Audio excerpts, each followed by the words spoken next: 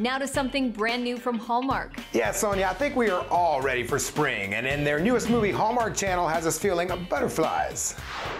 Does anyone know what butterflies eat? Fruit slices or sugar water. Hearts are all aflutter in Hallmark's newest romance, starring Kayla Wallace. I play Emily, who has a butterfly sanctuary and puts on these beautiful butterfly events. And yes, she runs into single dad Garrett over here. Wealthy single dad Garrett. You're really pretty. My dad thinks so. Kayla's real life boyfriend, Kevin McGarry, playing her on screen partner in the movie. It was fun to, you know, pretend not to know him for a second. That was. It was fun. It was fun. Pretend. It was fun. And sort of being able to go through the feelings again.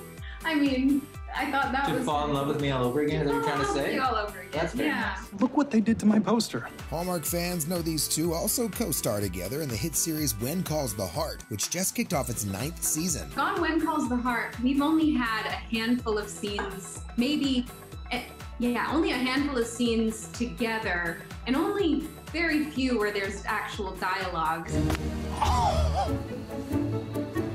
Okay, now I. They share plenty of on screen time in their new film, but you may be surprised by the main reason Kevin signed on. It was just, I just a, like a that fresh. song Butterfly by Crazy Train.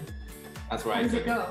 Come, my lady, come, come, my lady. You're my butterfly, sugar, baby. That- I think that should have been the, The the, song, song? I think. The Yeah, I, opening I don't think we could get it, so yeah. Everything is a butterfly with you.